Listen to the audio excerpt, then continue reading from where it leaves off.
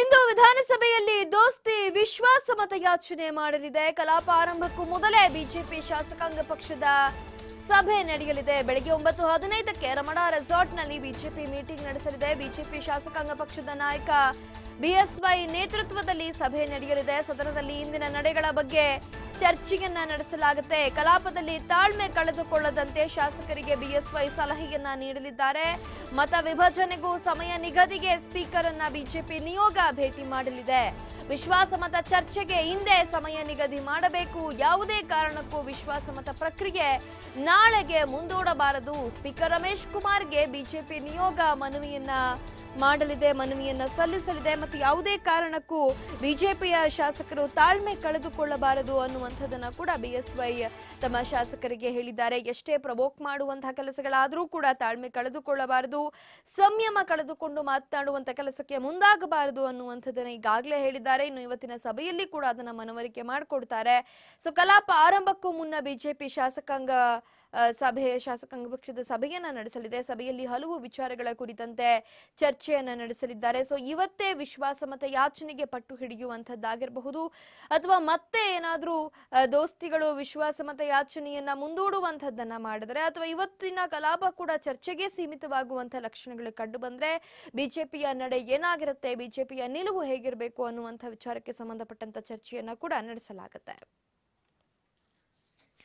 ಈ ಬಗ್ಗೆ ಮತ್ತಷ್ಟು ಮಾಹಿತಿಯನ್ನ ನೀಡ್ತಾರೆ ನಮ್ಮ ಪ್ರತಿನಿಧಿ ಪವನ್ ಪವನ್ ಸೊ ಇವತ್ತು ನಡೆಯುವಂತಹ ಸಭೆಯಲ್ಲಿ ಯಾವೆಲ್ಲ ರೀತಿಯಾದಂತಹ ಒಂದು ಚರ್ಚೆಯನ್ನ ನಡೆಸಲಾಗುತ್ತೆ, ಅದರ ಜೊತೆಗೆ ಇವತ್ತೂ ಕೂಡ ಏನಾದರೂ ಕಲಾಪ ಚರ್ಚೆಗೆ ಮಾತ್ರ ಸೀಮಿತವಾಗುವಂತಹ ಲಕ್ಷಣಗಳು ಕಂಡು ಬಂದ್ರೆ ಬಿಜೆಪಿಯ ಮುಂದಿನ ನಡೆ ಏನಾಗಿರುತ್ತೆ? ಏನ್ ಮಾಹಿತಿ ಇದೆ, ಪವನ್?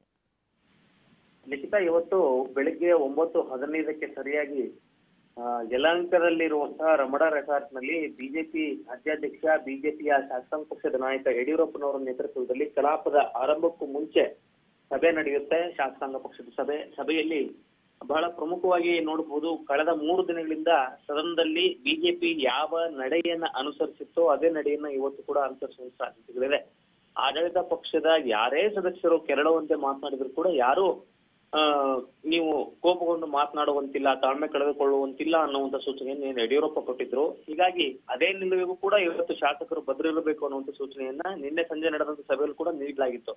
ಮತ್ತೆ ಇವತ್ತು ಬೆಳಿಗ್ಗೆ ನಡೆಯುವಂತ ಸಭೆಯಲ್ಲಿ ಯಡಿಯೂರಪ್ಪ ಅದನ್ನ ಮತ್ತೆ ಪುನರ್ಮನವರಿಕೆಯನ್ನ ಮಾಡಿಕೊಡೋರಿದ್ದಾರೆ ಬಹಳ ಪ್ರಮುಖವಾಗಿ ಲಿಖಿತ ಇವತ್ತು ಕೂಡ ಕಲಾಪದಲ್ಲಿ ವಿಶ್ವಾಸಮತ ಯಾಚನೆ ವಿಶ್ವಾಸಮತ ಯಾಚನೆ ಬಹುಮತ ಸಾಬೀತು ಮಾಡದೇ ಇದ್ರೆ ಕುಮಾರಸ್ವಾಮಿ ಅವರು ಮುಂದೆ ಏನ್ ಮಾಡ್ಬೇಕು ಅನ್ನೋದ್ರ ಬಗ್ಗೆ ಬಿಜೆಪಿ ಸಾಕಷ್ಟು ತಲೆ ಕೆಡಿಸ್ಕೊಂಡಿದೆ. ಯಾಕಂದ್ರೆ ಇವತ್ತು ಏನಾದ್ರು ಕಾರಣ ಒಡ್ಡಿ ನಾಳೆ ಮುಂದೆ ಹಾಕ್ಬೋದಾ ಬಹುಮತ ಸಾಬೀತನ್ನ ಅನ್ನುವಂತ ಒಂದು ಆತಂಕ ಬಿಜೆಪಿಗಿದೆ ಹೀಗಾಗಿ ಸ್ಪೀಕರ್ ಅವ್ರನ್ನ ಭೇಟಿಯಾಗಿ, ಕಲಾಪದ ಆರಂಭಕ್ಕೂ ಮುಂಚೆ ಸ್ಪೀಕರ್ ಅವ್ರನ್ನ ಭೇಟಿಯಾಗಿ ಬಿಜೆಪಿ ನಿಯೋಗ ಮನವಿ ಮಾಡುತ್ತೆ. ಇವತ್ತು ಎಷ್ಟೋ, ಎಷ್ಟೇ, ಎಷ್ಟೊತ್ತಾದ್ರೂ ಕೂಡ ಪರವಾಗಿಲ್ಲ. ಇವತ್ತೇ ಬಹುಮತವನ್ನ ಸಾಬೀತು ಮಾಡ್ಬೇಕು ಕುಮಾರಸ್ವಾಮಿ ಅವರು.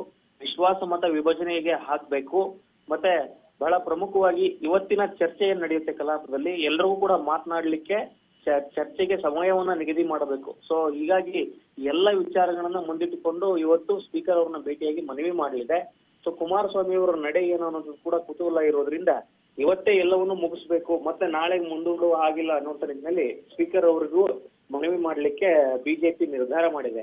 ಹೀಗಾಗಿ ಇವತ್ತೇ ಮಾಡಬೇಕು. ಇಲ್ಲ ಅಂದ್ರೆ ಮತ್ತೆ ದೊಡ್ಡ ಮಟ್ಟದ ಹೋರಾಟವನ್ನ ಮಾಡ್ಲಿಕ್ಕೆ ಬಿಜೆಪಿ ಮುಂದಾಗುವಂತ ಸಾಧ್ಯತೆಗಳಿದೆ ಲಿಖಿತ. ಓಕೆ ಧನ್ಯವಾದ ಪವನ್ ಮಾಹಿತಿಗಾಗಿ.